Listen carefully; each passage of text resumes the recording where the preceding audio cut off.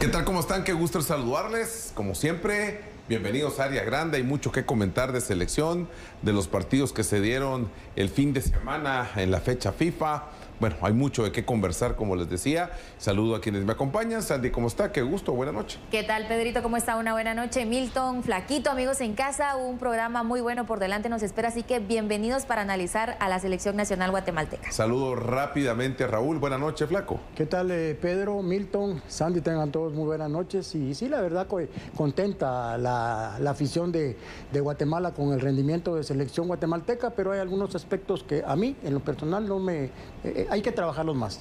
¿Cómo le va a Milton? También, bienvenido, buenas noches. ¿Qué tal Pedro? Buenas noches, hola Sandy, ¿qué tal Raúl? Bueno, y los partidos de la Liga Nacional, que se jugaron solamente cuatro. Coatepeque resultó ser ese tropiezo de Deportivo Misco, que ahora lo tienen el tercer. Bueno, vamos a las conclusiones de este partido. Sandy, eh, diría que la selección nacional, uno de los inconvenientes mayores es que no anota. El último en haber anotado fue Oscar Santis, lo hizo ante Trinidad y Tobago en octubre eh, pasado. Ya son varios juegos y el azul y blanco no levanta, creo que son cuatro en total. Y en este sentido, voy al tema ofensivo. Creo que esto tiene que cambiar para la eliminatoria. Sin goles no llegas a ningún lado. Y creo que para mí es tal vez lo más complicado que hoy en día Selección Nacional tendría que superar, Santi. Sí, bueno, totalmente de acuerdo con lo que usted menciona, Pedro, también con lo que decía Milton, ese déficit de gol que nos aqueja y, no es solamente de esta temporada, aunque obviamente ahorita nos centramos en esto porque pues es lo que estamos viviendo de la mano de Tena, pero incluso teniendo hasta los máximos goleadores que tuvimos en selección, siempre lo que nos hizo falta para dar un paso más allá para las clasificaciones importantes fue justamente la ausencia de gol. Eh, por supuesto que ahorita sí es crítico, ya son ya cinco partidos, si mal no decías Milton, en el comentario que Guatemala no logra una victoria, eh, Pedro agregaba lo último con Santi, sin embargo, a mí por lo menos el primer tiempo contra Venezuela me deja una sensación eh, que me hace olvidar un poco quizás algunos pasajes del partido contra Ecuador, que para mí no fue del todo malo, pero que entiendo que el resultado también a veces puede un poco nublar las conclusiones de lo bueno que pudo haber hecho Guatemala en ese partido. Eh, me gustó muchísimo ver a Franco en el medio campo jugando como si fuera un jugador que lleva mucho tiempo defendiendo la camisola de la selección mayor. Eh, me gustó la ratificación de Cardosa porque me parece que lo está haciendo bien. Se complementó muy bien con Ardón, que para mí mejoró también muchísimo este, en este partido contra Venezuela. Comparto lo que decía Milton, creo que Higgin en el arco se notó más sólido y en sí como tal me gustó gustó muchísimo el equipo, la conexión que había entre los defensores, el mediocampo que hacía ver a la selección más rápida, esa conexión, esa sinergia que tiene que haber, creo que se notó muchísimo en ese primer tiempo, pero si nos vamos al segundo tiempo, creo que ahí disminuyó un poquito el cansancio de algunos y la parte física que, al igual que la ausencia de gol, son detalles que a la selección a veces le restan como tal, pero creo que fue un muy buen partido para Guatemala. Ahora, Raúl decía que hubo cosas que no le gustaron. A ver, Raúl, ¿qué no le gustó de selección más allá de que no hace gol, que no produce gol? ¿Qué otras cosas no le agradaron? Algunos, algunos eh, momentos donde la toma de decisiones no es la correcta. Yo, por ejemplo, vi algunas jugadas que donde Santis o el mismo Ardón llegando eh, a, línea de fondo, hay una donde él define, está bien, está bien cuando, cuando no tenés una opción, pero eh, para mí esas tomas de decisiones son muy importantes porque eh, tanto Rubio Rubín como, como Darwin Long en algunos momentos ganan la posición a, a sus marcadores, pero el centro ya no llega, sino que eh, tiran al marco o, hacen un centro muy pasado. Entonces yo creo que en la toma de decisiones es donde realmente está fallando Guatemala, porque si la toma de decisiones fuera la correcta, tal vez nuestros centros delanteros pudieran tener más opciones de gol. ¿Ya? Ya se tiene la personalidad que dice que dice Luis Fernando Tena, que, se ha ido ganando. El Rosa Internacional creo eh, que también ya lo, van ya lo van teniendo, van mejorando bastante. Lo de Franco eh, me parece que son cosas positivas, pero ya te digo, para mí en la toma de decisiones es donde Guatemala está fallando. A ver, en, ese, en esa eh, posibilidad de selección que vimos en imágenes, en ese resumen, vimos claramente que intentaron por arriba. Con el único centro delantero que se tenía. No fueron dos, fueron varios servicios al punto penal para ver si ahí había opción en, el juego aéreo. Creo que no es esa la facultad de Guatemala. Yo comparto lo que dice Raúl. A lo mejor y central no pasa, centrar no pasa por nuestras virtudes. Eh, porque no somos eh, normalmente a la historia, me remito de selecciones, no son potencia en el juego aéreo, casi siempre era por abajo, en la distribución de pelota. Creo que ahí sí comparto lo que dice Raúl. Y vamos a escuchar si les parece, y luego voy con las conclusiones de Milton también. Vamos a escuchar a Luis Fernando Tena, él habla de este partido ante Venezuela, saca, pues diría yo, las ideas de este juego, lo que le dejó positivo y negativo del enfrentamiento ante el Avinotinto. No, vaya, fue, muy parecido y el discurso es el mismo, tratar de, ser los protagonistas del juego, de tener la pelota, de jugar en, cancha del rival, de darle una, una circulación rápida, de presionar al rival. A veces sale, a veces no, dependiendo. Hoy también, eh, por momentos tuvimos el comando del juego, pero también por, por momentos Venezuela nos atacaba con, mucho peligro y también, también circulaba muy bien el balón. Pero esa es la idea, ir creciendo poco a poco, jugar contra rivales más fuertes que nosotros, arriesgando el marcador, podemos ganar o perder, pero que vayamos creciendo en, personalidad, en seguridad de nosotros mismos, en creer en nosotros mismos, en tener cada vez más tiempo la, pelota en, nuestro poder. Eh, en general, creo que hicimos dos, dos buenos partidos.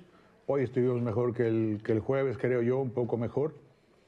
Pero bien, vamos mejorando individualmente también vamos incorporando gente joven como Jonathan Franco y como, y como Cardosa, que tienen 20 y, 21 años, eh, y gente que va mostrando también que, está pidiendo cancha. ¿no? Sigamos con el tema del profesor Luis Fernando Tena. Ahora dice que la convocatoria a selección vendrá hasta mayo. Recordemos que este mes de abril viene cargadísimo para los equipos de Liga Nacional por juegos de reprogramación, por finalizar la clasificación, por empezar la fase por el título. Así que hasta mayo habrá convocatoria. Nos comenta al respecto Luis Fernando Tena. Llegué un día después porque me enfermé del, estómago. Entonces tuve que, retardar un, día la llegada. Pero por lo demás estamos muy contentos con, con la gente que hemos convocado aquí.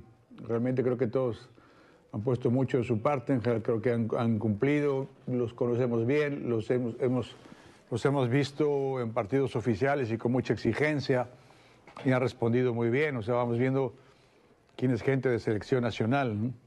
Entonces, eh, la próxima eh, convocatoria que hagamos, que ya va a ser en junio, mayo-junio, y que ya va a haber eliminatoria mundialista, pues puede variar un poco, pero no mucho de, de la gente que vino ahora, ¿no? Sí, en general bien. La verdad que creo que hicimos dos buenos partidos en términos generales. El otro día ya hablábamos que parecía incongruente porque perdimos, pero bueno, sabemos la fuerza que tiene Ecuador. Y hoy creo que plantamos cara, el partido fue muy parejo. Eh, me parece justo el empate, quizá hubiera sido mejor el 1-1 o 2-2 pues, por el espectáculo, pero creo que fue parejo. Por momentos controlamos bien el juego, por momentos sufrimos algunos embates, ellos tienen gente también muy, muy fuerte, pero en general creo que podemos estar contentos con la actuación de, los dos juegos, sacar conclusiones para tener una convocatoria lo más certera posible para mediados de mayo.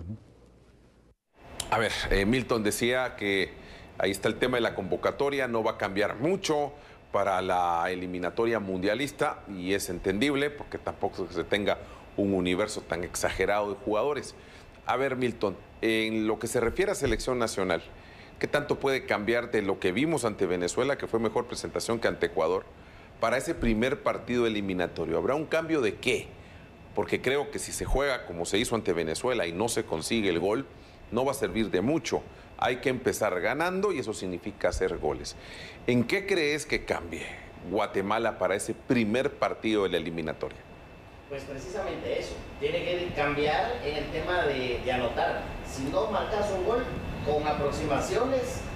Sí, eh, lo que decís, si el tema es aproximaciones, Milton, Guatemala tuvo, pero no logra capitalizar eh, eh, ese tipo de llegadas. A ver, Sandy, entramos a un poco la discusión de todo esto mientras vemos el arribo de selección nacional también, porque hoy arribaron al, país eh, después de estos dos compromisos ante Ecuador y ante Venezuela. A ver, sinceramente, ¿qué cambio vio de, de lo que vimos en el 2023 en la recta final ahora?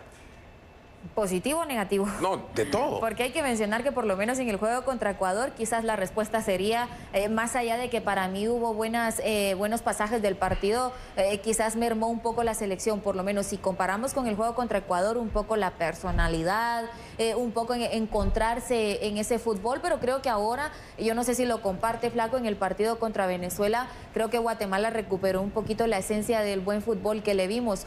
yo destaco mucho el primer tiempo, pero creo que es importante también hacer énfasis que los partidos duran 90 minutos y que necesita una, se necesita una calidad y, una cantidad que por lo menos eh, le logre acompañar a los futbolistas eh, terminar los partidos. Si hablamos, Flaco, de ese primer tiempo y de la generación de juego, por lo menos yo conté cinco llegadas de Guatemala al marco. Es bueno, pero a la vez es malo porque no puede ser posible que de cinco no, logre capitalizar una, un poco lo que usted decía.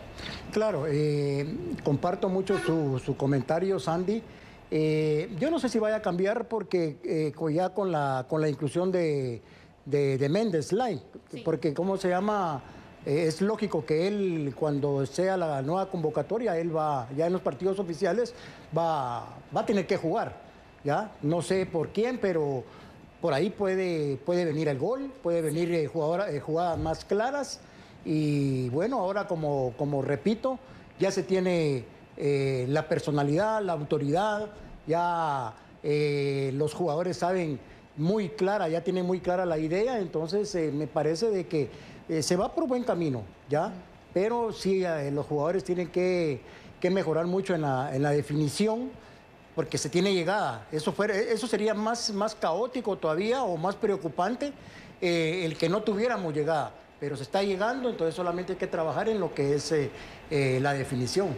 Yo, yo la verdad les digo que cuando uno ve de frente a la eliminatoria y ante los rivales que Guatemala tendrá que asumir, debería llegar el gol. Yo veo esos primeros rivales, a excepción de Jamaica, que no deberían darle problemas a selección nacional. El asunto es que si no hay gol, la misma selección se complica, porque en una eliminatoria el gol es fundamental. Deja para ganar los partidos, que es algo lógico. Para la diferencia de goles en el tema de la tabla de posiciones. Y en una eliminatoria hemos visto que Guatemala se ha quedado por diferencia de goles, a veces por no asumir esos compromisos en casa. A ver, esta selección va a tener que cambiar el destino de tantos años en los cuales no se ha podido lograr el objetivo. Hoy que hay más selecciones involucradas para participar en una Copa del Mundo, pareciera que es ahora el momento. Porque antes, ya sabemos, las plazas eran tres y un repechaje. Ahora hay más posibilidad porque el Mundial se juega en la región de CONCACAF y hay tres sedes, tres selecciones ya clasificadas. Y hay opción de otras tres plazas más repechaje. Entonces, si no es ahora, sinceramente, yo no veo en qué momento. Tal vez cuando el Mundial vaya a llegar a más selecciones que participen ahí, ¿verdad? Que ya estamos hablando que si no se logra más adelante, si hay más participación, entonces es preocupante. Pero vayamos a ese futuro inmediato. Es la eliminatoria al Mundial del 2026. Yo creo que si no es ahora, no será, ¿eh? Y para ello hay que empezar a ganar desde el primer partido. No hay de otra. Ahora, Pedrito, a mí me, me preocupa, y yo se los comentaba fuera de cámara, me preocupa el que nuestro centro delantero titular ahorita, nuestro nueve titular, no juega en su equipo. Entonces, ¿cómo puedes agarrar eh, la regularidad anotando? Jugando nada más y él no está jugando. No está jugando. Ya, entonces eso sí, preocupa. Pero a ver, ¿te recordás que no es nuevo? Es que en serio, desde que se fue Carlos el Pescado Ruiz, no se encuentra un delantero regular. Y miren cuánto tiempo lleva desde que Carlos dijo ya no más con selección. Pedro. el mismo Amarini no, no tuvo un delantero que le hiciera gol de forma regular. Perdón, Sandy, me decía. y aún con todos los goles del pescado, ni siquiera así nos alcanzó. Y hoy no tenemos un goleador que por lo menos aporte qué sé yo, la cuarta parte o la mitad de goles que, anotaba el pescado con la selección. Para mí es preocupante. Es grave, claro. Para mí es, preocupante. Que ese, siempre ha sido el tema. Más allá de los jugadores que han pasado y de los técnicos que han venido, el tema es que Guatemala sigue eh, carente de gol. Claro. El último goleador que fue Eddie Danilo Guerra está retirado. Y no se retiró a una edad en la que dijeras, bueno, ya se retiró por edad, pero, pues tampoco, era regular. claro, tampoco es que él haya hecho una enorme diferencia y decir, no, que no se vaya porque lo necesitamos. No, pues que nadie ha asumido. No, y sabes qué es lo, lo, que yo digo, que estoy muy de acuerdo con lo que han dicho todos, es que, por ejemplo, Rubio Rubín no está jugando. Darwin Lom es un luchador de raza, pero también le hace falta el gol. Yo creo que, por ejemplo, el flaco José Carlos Martínez tiene dos meses para recuperarse y De Winder Bradley tiene dos meses para convencer a Tena. ¿Se recuerdan, por ahí van ¿se recuerdan ustedes a Marini cuando encara qué fue la Liga C?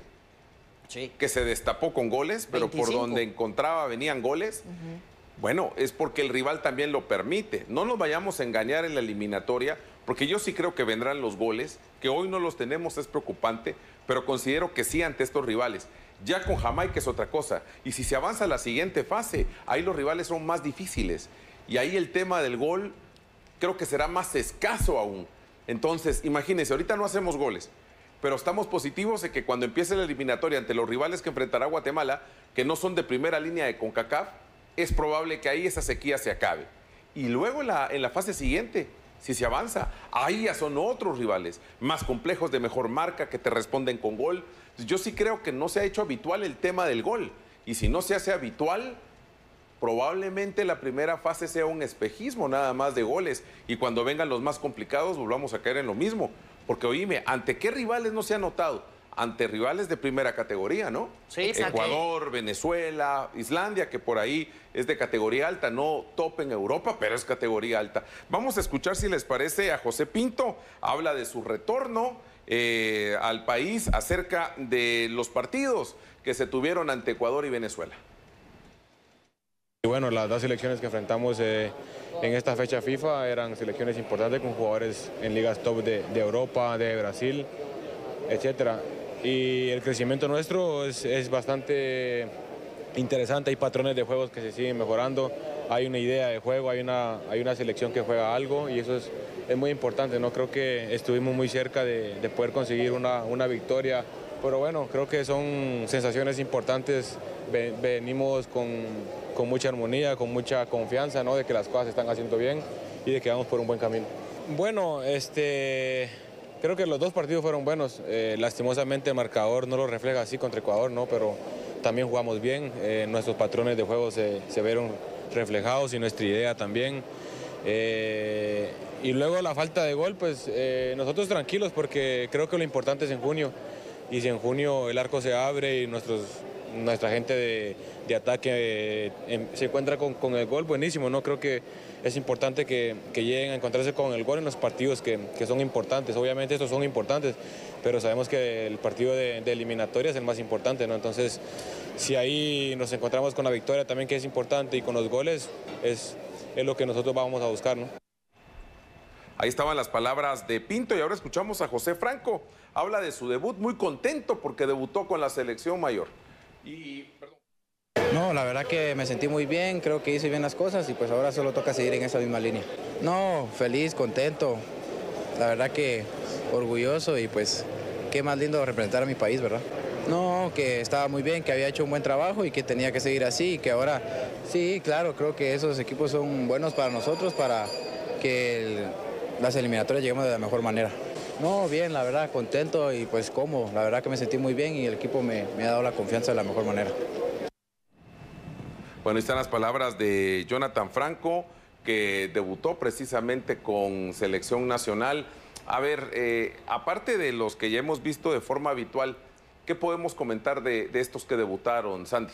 Bueno, lo decíamos al inicio y creo que todos vamos a coincidir. A mí me gustó muchísimo no sé si la palabra sea señorío como tal, pero yo lo sentí eh, como un hombre con mucha experiencia. A Franco no le pesó. Eh, para mí fue un muy buen rendimiento por parte de él y creo que fue una decisión acertada por parte de Tena el hecho de tenerlo en la alineación contra Venezuela. Lo de Cardosa, la verdad, me gusta mucho, creo que es un jugador con mucho sacrificio. Le estoy conociendo un lado que por lo menos con su equipo a veces quizás uno no, no lo ve, quizás eh, eh, incluso cuando manejábamos las probables con Milton eh, durante los primeros días, nosotros no lo teníamos contemplado, ahí teníamos otras opciones, pero creo que está levantando la mano y para mí, no sé qué piensen ustedes, pero si lo utilizó contra Ecuador y lo repite contra Venezuela, contra Venezuela se conecta muy bien con Ardón, yo creo que por ahí Cardosa le va a pelear bien a Santis y a Mejía, que son los que van a estar peleando ahí, porque del otro lado ya sabemos que cuando venga Méndez, Méndez va a jugar. Para mí Méndez es fundamental, ¿eh? Sí. Para mí Méndez será fundamental. Yo estoy de acuerdo con lo, con lo que dice Sandy. Creo que eh, iniciar como titular eh, para, para Jonathan Franco fue mucho mejor que los poquitos minutos que, que disputó. Creo que es más difícil entrar a un partido que ya está en ritmo que haber iniciado como, como titular. Y el tema de, de Cardosa, yo creo que es una de las gratas sorpresas en esta selección, porque estoy seguro que hace un mes nadie de nosotros aquí podía decir Claro. que Cardosa le iba a ganar la titularidad a Cuilapa. Pero, pero a ver, eso es hoy. Por ¿Cuánto, eso eso es hoy. cuánto falta para la ¿Y eliminatoria? sabes, Sí. que, y sabes que tocas un punto Y, importante. y va, que- y, va, y va a jugar con los que tienen o no experiencia Sí, en una eliminatoria. Ese es otro tema. Sí. sí. ¿Sabes Ese que, es otro tema. sabes que tocas un punto importante porque con todo lo que viene en el mes de abril, ojalá que los jugadores lleguen estos Sí. al, al- al mes de mayo bien. Con este nivel, claro, pero a ver, Raúl, raro ha sido el técnico que juegue una eliminatoria con futbolistas de poca experiencia. Muy poco. Muy pocos. Sí. Normalmente asumen los de experiencia y los jóvenes van tomando minutos poco a poco. Creo que lo que hizo Tena fue probarlos. Son minutos los que tuvieron, pero creo que los de experiencia asumirán la eliminatoria. Cuando sea necesario entrarán los jóvenes. Sí, muchos, muchos técnicos eh, lo dicen, ¿ya? Los patojos eh, me pueden ganar partidos, pero los grandes torneos, los grandes... Los de gran- experiencia. eh, los, los de experiencia Que los tampoco, que- a ver, eso es otro tema, ¿verdad? Si vamos a los de experiencia, históricamente nunca han llegado a un mundial, pero te dice eso eh, muchas veces la actitud de un técnico. No voy con los de experiencia que ya saben jugar estos Aunque muy estos pocos encuentros. técnicos, como, como repetimos, es, eh, Bueno, se la juegan también. sí, como Tena. ¿Te recordás, te recordás Sí. de Miguel Brindisi cuando Sí. llama a Martín Machón? Sí, sí, sí, sí, sí. Eh, entiendo. O, o- o Dragoslav cuando llama a Juan, creo, a Meme, Ajá, a Juan Manuel. claro, sí, sí. Pero si hay alguien que sí hace debutar jóvenes es Luis Fernando Tena. Vayámonos a los Olímpicos. Sí. aunque Sí. tenía tremendo equipo ahí.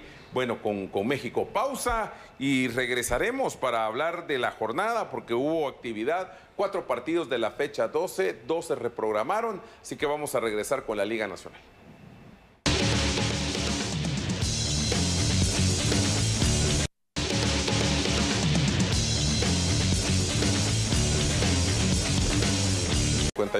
y que nunca se logró.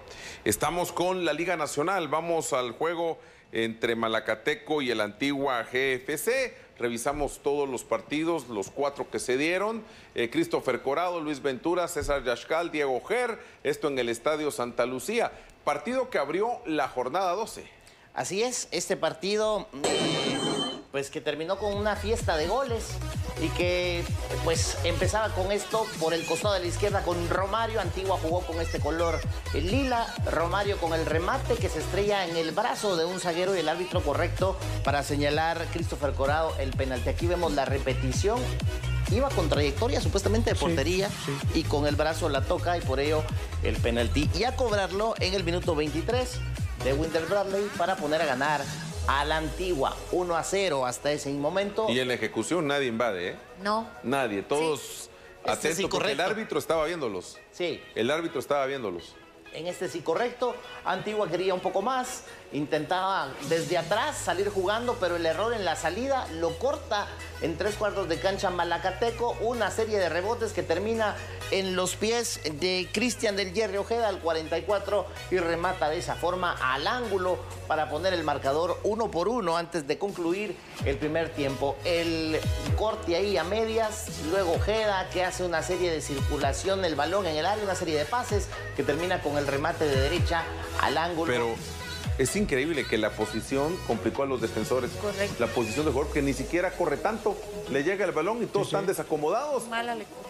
Pero muy mal ahí eh, la defensiva, ¿verdad? Lo que sí que mala salida también de, sí, por de- supuesto. de Braulio. No, el, el corte es bueno, ¿verdad? El robo de balón es bueno, pero luego se quedan eh, mal parados. Y este es un golazo, el que anota Nelson Andrade, el pase con el que rompen por completo el sistema defensivo. Ahí le va picando al vacío, muy similar a una jugada con la que Antigua hizo gol. Muy buena En jugada. el pensativo, aquí lo mismo, le ganaron a todos la espalda, la manera en que recibe, se acomoda y patea el 2 a 1. Pero la historia no se había terminado y Antigua todavía buscaba. En este balón filtrado para Bradley, lo va a picar de esa forma, de pierna derecha, lo cruzó, quiero decir, al guardameta y de esa manera marcaba el 2 por 2. Parte en buena posición, se queda enganchado el que estaba marcando por la derecha y con ello el 2 por 2. Pero ese gol, al dale, 67. dale, dale un 50% al pase. El cheque sí que la mete qué, así. qué bien la metió entre líneas y justo donde era difícil para los centrales que se quedaron, eh, a ver, uno muy cargado al poste lejano y el otro muy cargado al primer poste del guardameta. Y el balón va en medio de los dos. No tienen ni siquiera reacción porque el pase es exacto. Para mí, creo que el Checa, no sé si ustedes estarán de acuerdo conmigo, es de los jugadores hoy en Liga Nacional que mejor hace pases entre líneas. O sea, esos pases filtrados, creo que para mí es Checa de los mejores en Liga Nacional. ¿Y sabes qué es lo más complejo en una cancha que no es habitual y que es sintético? Todavía calcular. Eso ayuda más. Sí, pero, pero calcular o no darle muy duro para que no se te vaya o que se te quede corta. Claro, y este equipo de Antigua, eh, cada vez que salta al, al engramillado, siempre hay de qué hablar. Ahora, Sí. sin sus dos eh, referentes eh, seleccionados nacionales, eh, muestran siempre un buen rendimiento. Entonces, quiere decir de que hasta los que están en el banco eh, tienen clara la idea y van para el mismo lugar todos. Yo creo que hay armonía en, en- Claro. en Antigua, Correcto. ¿verdad? Ajá. Hay un muy buen vestuario y eso se refleja en el campo. Vamos ahora al juego que tuvo Cobán ante Zacapa, Sandy. Y aquí están los árbitros para ese juego entre los Príncipes Azules y los Gallos. Así es, Pedro, arbitraje de Armando Reina y le acompañó como árbitro asistente 1 Juan Tipaz, el árbitro asistente 2 Pablo Ramírez y como cuarto árbitro en la parte administrativa Enrique de la Rosa, Estadio Verapaz. El sábado pasado, en punto de las 15 horas, se ponía a rodar la pelota, Milton. El equipo Zacapaneco urgido de puntos para tratar de salir de la zona del descenso. Llegaba hacia el Verapaz este remate potente que llegaba a media distancia. No podía convertir el equipo cobanero. La respuesta de los gallos jugando todo por la derecha. El pase atrás y el, el corte puntual de Tales Moreira. Reiterativas las acciones. Ahora Tales es el que corre. Si lo toca puede ser penalti. El pase y ninguno llegó a buscar ese balón. Ahora la llegada es de los príncipes azules. Y sale bien el guardameta Álvaro García para quedarse con la pelota. Y Anderson se la lleva de taco y todavía de frente. El rebote sale y no le favoreció para nada. Y Álvaro García, esta va a estar mañana en el top de Seguro, Ataja, sin sí. lugar a dudas. Dos veces abajo y Sí, dos veces abajo, sí. Ahorita se posiciona para puesto número uno, Milton, Ah, pero no sí. sé qué vas a decidir mañana. en lo que vamos, ahorita, en lo que lleva- llevamos viendo, sí. Yanderson Pereira en el área, la pone al piso, engancha hacia afuera y luego por adentro, el centro. El corte bueno por parte de los Zacapanecos. No encontraba la fórmula, Zacapa llegaba por todos lados. Otra buena llegada, gana bien la línea de fondo Delfino Álvarez para la zurda. Y a primer palo, García extendiendo los brazos. Otro de Delfino y otra vez García a encontrarse con el balón. Y el árbitro decía que hasta ahí los primeros 45 minutos. De nuevo, el equipo de Cobán empezaban con bol y luego el remate desviado de la portería de García por la izquierda, el centro al área. Yanderson de cabeza. Y Álvaro García. Figura del Imagínense, partido, figura Álvaro del García figura en el equipo de Zacapa otra vez y en puestos de descenso. Y si no fuera por él, no sé cómo estuviesen. Aquí el centro de Alexis eh, Mata y la pelota hacia afuera. Ahora era Anthony López con el centro tiro y García decía mía y se chocaba las manos ahí porque hacían un buen trabajo. Aquí el hombro con hombro lo ganaba el equipo de ¿No Cobán. hubo falta? No, ¿verdad? Hombro a hombro, creo yo. Y el remate cerca del palo izquierdo. Zacapa era defenderse y aguantar y aguantar. Y en esta Yanderson Pereira arriba de la portería. De nuevo el conjunto azul con el pase recentro de Yanderson y el gol de Tales Moreira. La importancia de Yanderson de no darla por perdida cuando todos creían que se iba, muchos parados, el balón atrás, domina y de pierna derecha adentro. No sale 1 a esa 0 pelota. al 92. No sale Sí, esa yo pensé pelota. lo mismo. Me que parece que no, pareciera ¿eh? que la rescata de, de, de De la línea. En- en el aire es- En el aire es... Para mí, para mí no, ¿sabes? Pero ¿Sí? me pregunté eso al verlo, sí. Sí. Sí, sí. La vamos a ver Yo despacio. sí tengo mucha dudas. duda. Yo sí tengo mucha duda de que haya salido esa pelota. No le podemos buscar eh, el, la manchita ya al gol porque la verdad, No, eh, bien hecho por parte Muy de bien de Cobán, Anderson. sí. Primero porque no la da por perdida. Exacto. ¿ya? Sí. Exacto. Pero a Anderson le falta su socio. Le falta su socio. Mira cuántas llegadas tuvieron. No te estoy diciendo que fueron tres, fueron alrededor de ocho o nueve llegadas para conseguir el gol. ¿Y quién define? Un defensa, ¿no? Tales. Sí, Bueno. tales. Me parece que Cobán va, insiste, y Anderson está tomando el liderazgo por completo del equipo. E- e- Este señor hace en espacio reducido maravillas. Que lo bueno que ya jugó, ya jugó Casas. Sí, ya, Ya sí. jugó el segundo tiempo. El segundo, pero no estuvo desde el Ya, inicio, claro, eso es a lo que yo ajá, voy. sí, sí. Y, y creo que le, le hizo falta no tenerlo desde un principio, porque mira cuántas oportunidades tuvieron en la primera parte, que creo que hubo más en la primera que en la etapa de complemento. Sí, Sí. sí. Entonces, bueno, ahí estamos hablando que sí, ahora que ya está regresando Casas poco a poco, va, va a haber posibilidad. Eh, esa es la anterior, ¿verdad? Cuando Sí. la quiere ganar, pero ¿es el defensor o le da en la rodilla? No, Una de el dos. defensor un gran cierre. Un cierre, ¿verdad? Perfecto, sí. Bueno. A- Aquí viene el centro. Parte habilitado, no hay fuera de juego. La pelota va cayendo, va cayendo. Es No, adentro. adentro. No, es adentro. No. Es adentro. Esa, no, es adentro. Ahí ya le pegó flaco. Sí, es adentro. Al flaco no le convence. Esa- no, es adentro. Es adentro. Es adentro. Sí. Por completo. Sí, totalmente, es adentro, no hay duda. Por- Tres, no hay tres duda. a un- completo. tres a uno. No hay duda, es adentro. Incluso el balón cuando va cayendo se ve que, que ni siquiera va a superar la línea porque está adentro. Ahí está, está adentro. No, no, no. Sí. Lo que Cero sí es que, problemas. mira, todos los de Zacapa. Eso igual. sí, el, el auxiliar ya mero se pasa la, la valla, ¿verdad? ¿Vieron dónde estaba? Se pasa de la línea el auxiliar justo para ver eso. Y creo que también el guardameta de Cobán hubiera reclamado, de, de Zacapa hubiera reclamado si, si Levanta hubiera la mano. Ah, pero Sí, no, levanta la mano. no es tan, ta- no hace énfasis, flaco. Yo creo que cuando los futbolistas no hacen mayor escándalo, Es porque la vieron ahí. exacto. Y Para él mí estaba dentro. bien en la jugada. Sí, para mí está adentro. Yo, lo que, yo lo que digo también, habían ocho de Zacapa en el área. Sí, más de alguno hubiera podido levantar la mano, ¿verdad? Y decir, este balón está fuera. Para mí creo que está dentro, cero problemas en ese sentido. Lástima por Cobán, por las llegadas que tuvo, era para reflejar un marcador más amplio. Y Zacapa, con el triunfo de la X, cada partido es un martirio para los gallos. Chinabajul creo que se salvará. Pero vamos a ese juego, precisamente el de Chinabajul ante Guastatoya. Aquí está, eh, para echar un vistazo, el árbitro del compromiso, Brian López, Jorge Ordóñez, Cristian Alvarado, Carlos Galindo, en el estadio de los Cuchumatanes. Jugaron sábado a las 18 horas. Este La- partido, sí, flaco. La peor versión de, de Guastatoya en, en varios torneos. Sí. Este es el 1 a 0 al minuto 3. Tomás Pizarro marcó así. De un saque de banda sale el gol y cabecea en medio de tres que están ahí parados en el área y que ninguno de los tres se puso de acuerdo. Dice, dicen era tuyo, no tuyo. En fin, Pizarro ponía el 1 a 0 al minuto 3. Guastatoya iba a encontrar este tanto rapidito al minuto 18. Yo creo que hay un fallo en el, en el centro de la línea defensiva sí. que la pelota no le logra pegar. El defensa creo que se resbala, no sé, la voy a revisar acá de nuevo, porque el balón le pica. No, no llega, No llega. no llega. No llega y lo encuentra bien Oscar Reivía y ponía las cosas uno a uno en 18 minutos. El ex de Shela ponía el uno a uno. El balón aquí no lo logra despejar el equipo de Guasta. Y luego el centro y pasa enfrente de todos y ahí cerquita el equipo de la X de conseguir el segundo. Error en la salida. Y luego Uh, qué, qué buena- buen qué gol buena el que, definición, el que le sí. sale de esta forma a Pizarro para su doblete. Primero él gana la, posición del balón y por la forma en que va y taponea el despeje, queda modo para salir corriendo. Pero el portero entregado, ¿verdad? También un poco, ¿no? Sí, estaba adelantado. Sí, estaba estaba adelantado. totalmente. Pero- y el jugador le da buena lectura, lo Sí. mide bien y. Y define con la zurda, ¿verdad? Sí.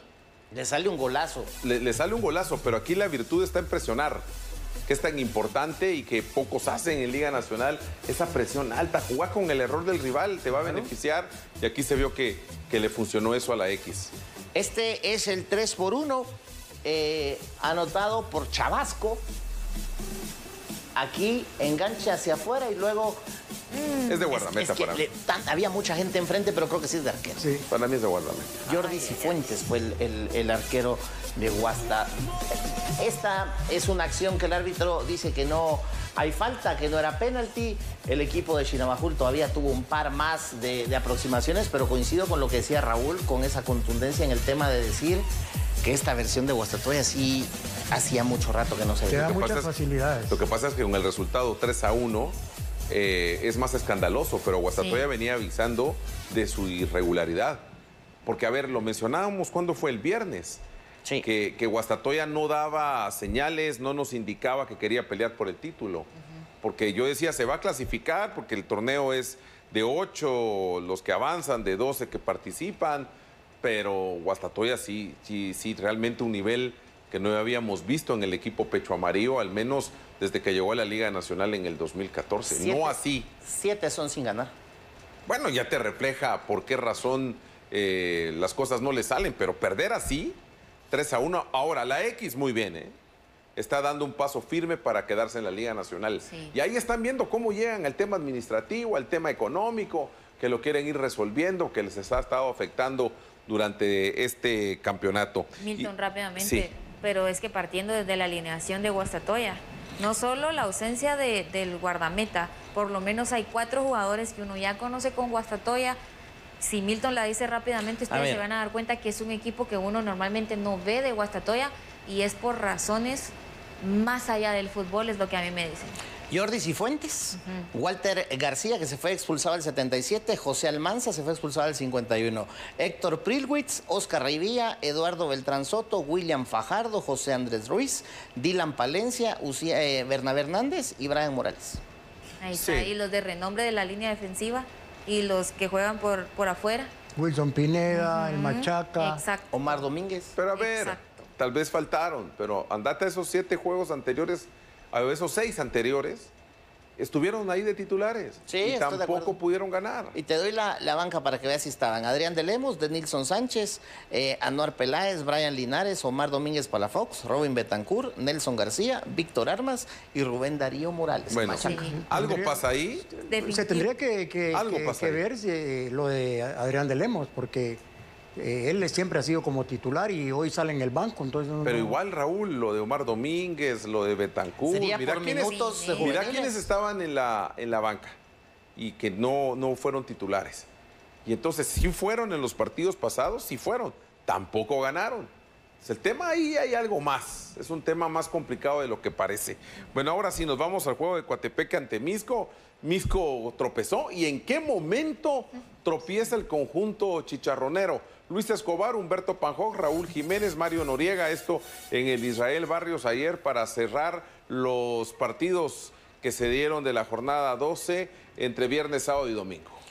Este partido va a tener un gol bastante rápido y va a llegar acá Moscoso al corte y en la primera por- aproximación. Luego otro centro, ahí queda el, el despeje a medias y qué manera de prender ese zapatazo Didier, Dieter, Dieter Daniel Lang a los nueve minutos.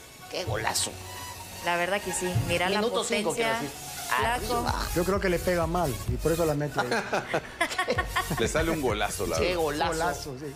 Qué golazo para el 1 por 0.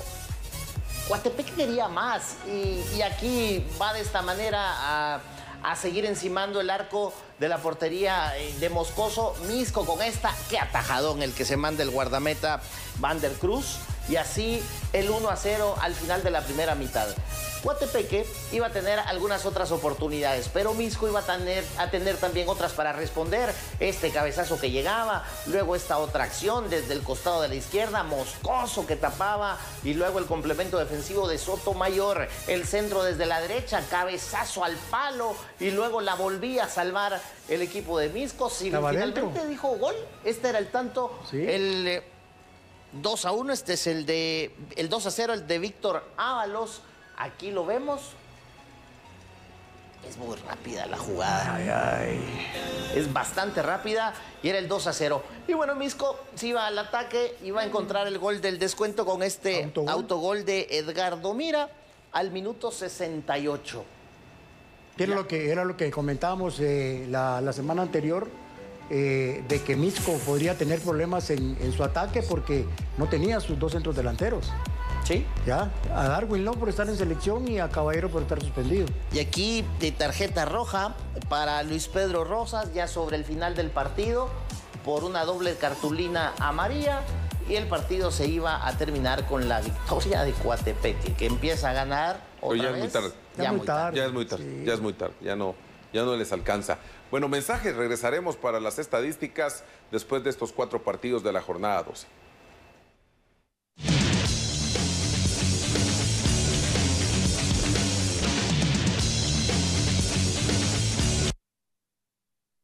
¿Sientes que estás mal, débil, a punto de caer con gripe? No te preocupes, llegó lo que necesitabas. Gloranta Bebida Caliente, un delicioso preparado natural de infusión casera a base de quión, miel y jalea real que ya viene listo para tomar. Solo mezclas una taza de agua caliente y listo. Su penetrante vapor aroma mentol te ayudará a despejar tus vías respiratorias y a sentirte mejor. Así que ya sabes, si necesitas ayuda para aliviar la congestión y sentirte mejor, prueba Gloranta Caliente. Te levanta inmediatamente.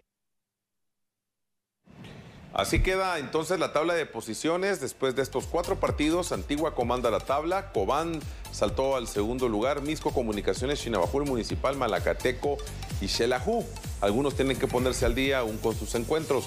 Si hoy finalizara la clasificación, Antigua Xela, Cobán Malacateco, Misco Municipal y Comunicaciones ante Chinabajul. Guastatoya, Chuapa y Coatepeque, al igual que Zacapa, cierra la tabla. Vamos con el eh, tema del acumulado. ¿Cómo queda entonces? Allá en la parte baja, Zacapa 27 puntos, Shela 32, la X 33, Guastatoya 36. Bien por Chinabajul, cómo ha ido levantando a pesar de los problemas. Y Zacapa se está hundiendo. Y Shela, Shela no debe confiarse. Coatepeque Chao de la Liga Nacional. Vamos con los goleadores. Nos dice lo siguiente. Casas que regresó, aunque no anotó, se mantiene en el goleo con 7, seguido de Rotondi con 6, Pizarro 5, Mazzola 5 y Caballero 4. el tema de los guardametas, el menos vencido es Freddy Pérez, ahora comandando esta estadística. Le sigue Linares con 9, Moscoso con 9, Calderón con 10 y Medina con 10. La próxima jornada, entre miércoles, jueves y sábado, el 27, estamos hablando, jugará Achuapa ante la X y Antigua ante Comunicaciones. ¿Qué Partidazo. Qué partido el Jueves Título Santo. imperdible. Sí, ahí se puede definir el primer lugar. Jueves Santo, Zacapa ante Shela. Sigamos con. descender a Zacapa Claro, una. sigamos con más partidos. También Jueves Santo, Municipal Cobán y Guastatoya ante las Serpientes. Y el sábado de Gloria, Misco enfrentando a los toros. Pausa y volveremos con la fecha FIFA y los partidos más importantes en el mundo.